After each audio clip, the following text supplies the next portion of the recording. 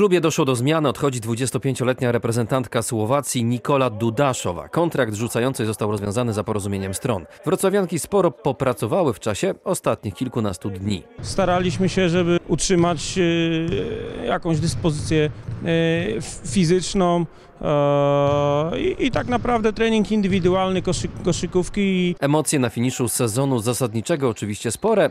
Ważne granie też przed Ślęzą. Teraz już te, te cztery zespoły, które będą między sobą rozgrywały najlepsze miejsca przed playoffami. My cały czas e, gdzieś próbujemy e, urwać jeszcze e, jedno, dwa zwycięstwa, żeby ten sezon do końca nie był w takich czarnych barwach dla nas. Najbliższym rywalem Ślęzy będzie Basket 25 Bydgoszcz, zespół, który równie dobrze gra u siebie jak na wyjeździe. Na pewno pod koszem, czy Burdyk i Evans, to, to są w tej chwili te dwie zawodniczki, które nadają ton grze podkoszowej. Na obwodzie doświadczone e, McBride, Ela Międzik i, i, i też znana z występów u nas e, Karina Szybała. W tej chwili doszła do nich jedna e, Holenderka, która grała też we Wrocławiu, Jenny Zindiba.